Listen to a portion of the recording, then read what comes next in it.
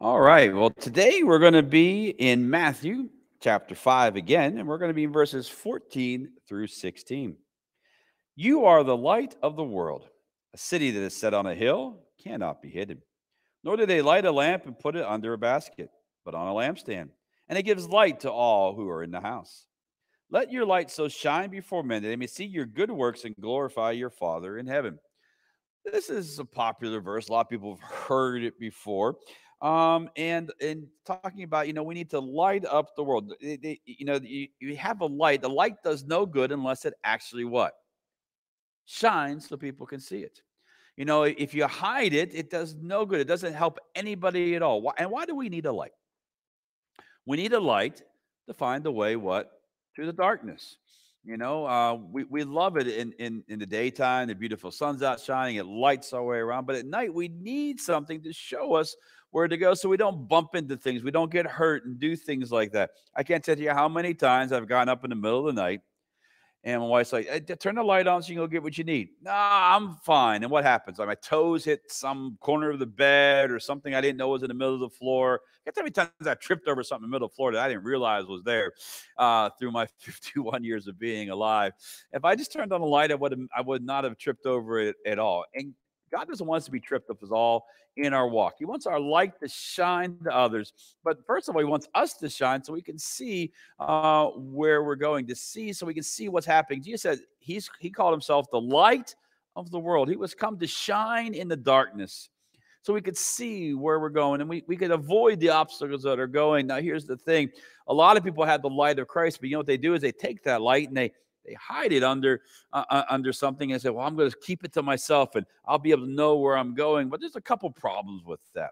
Uh, the, the the first problem is is Jesus wants you to shine because everybody else doesn't have a light and they're walking in darkness they're bumping into things they're messing up their toes spiritually they're and they need to see the light he wants us to shine brightly yeah, but if I shine brightly, people might think that I'm weird. They're not going to think that you're weird. Here's the thing when the world thinks you're weird, you're normal before God. God wants you to be beyond yourself. Remember, you are no longer part of this world and you become a Christian. You're part of His kingdom. You get to live forever with Him. And you know what? He says, and I will take care of you.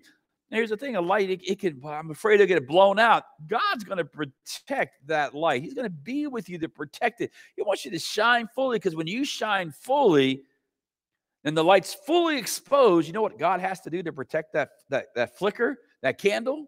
He has to do even more things to make sure that light continues to shine because you're not trying to protect it. See, what people do when they try to, I'm going to protect that light. I'm going to put something in front of it so it doesn't blow out. You know what you're doing?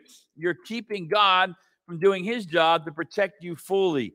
Oh, you want to protect the light yourself? Go ahead. But when you see, when you try to hide it a little bit, you try to protect it a little bit, when you try to, to say, well, I'm, I'm going to shine, but only in a certain way, you're not allowing God to protect you as much as he wants to.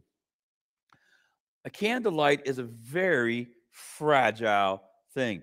Now, here's the thing: it can, as soon as you light a candle, boom, you can see it from when in darkness, you can see it from just about anywhere because light pierces the darkness.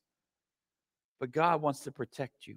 God wants you to have an amazing life. He wants you to know, I want you to be able to shine and not worry about that light going out.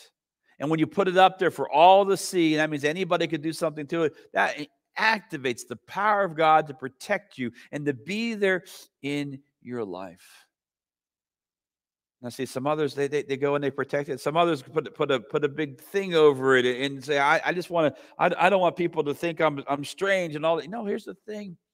You know what? God, He wants you to shine. He wants you to shine. Not only does He want you to shine and put your light out there, the more you put out there, the more He can fan the flame, the more He can make the light shine brighter and go further. Here's the cool thing about that if you want your light to shine and go further than you can ever imagine, that means God has to bless you. Here's how God blesses you God blesses you when you put yourself out there he knows that's not an easy thing to do. Now, I'm not asking you to go out, go into your job, stand up at lunchtime and say, everybody needs to hear about Jesus. Yeah, that, that is looking foolish.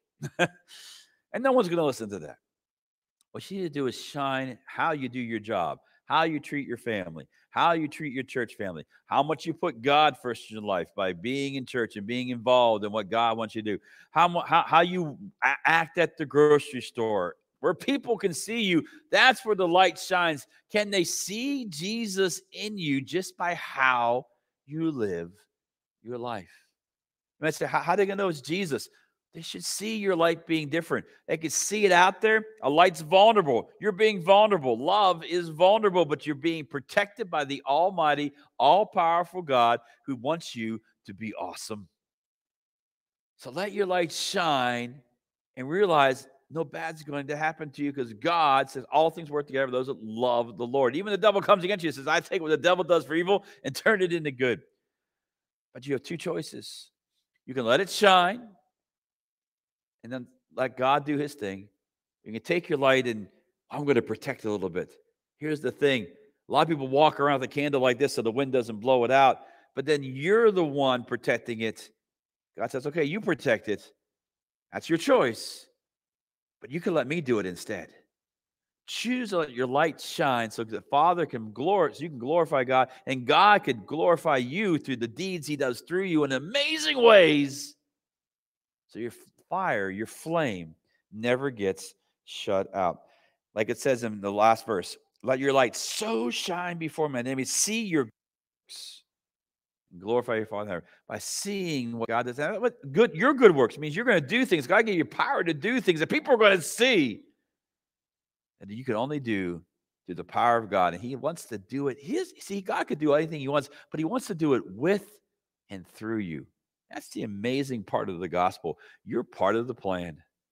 So allow yourself to be like that today and light it up. Light your life up and see what God does.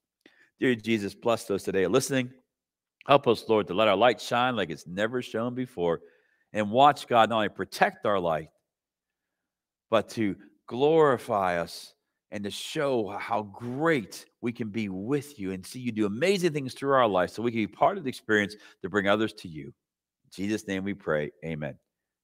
And remember that Jesus loves and cares for you. I love and care for you, and you're absolutely awesome.